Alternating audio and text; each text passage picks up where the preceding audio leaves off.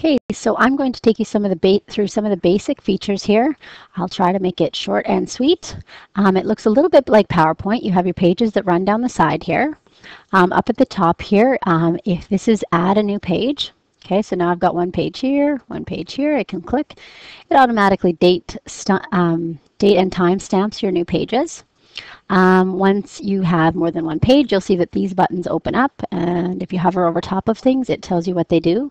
So this will take you to the previous page, to the next page. This button right here is undo. So if I wanted to undo that new page that I just made, I could click this and there goes that page.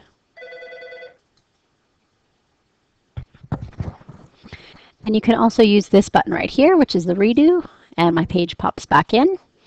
Um, this is the add a page. There's my page popping in. If I would like to delete a page, choose whichever page you'd like to delete and delete the page.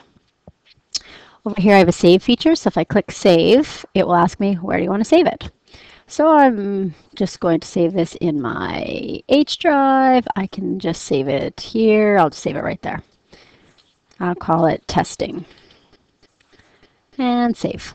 Okay, renames my file right up here. Every time I click save now, it will save to that location. It doesn't ask me where. Next I have my view screens. So if I'd like to see full screen, I get this mode. If I click this button again right here, I exit the full screen. I have options transparent background, so now I can do things right on my desktop with my pens and things. If I click right here, I exit the transparent background. And I have 50% and so on. I'm going to go back to 100%.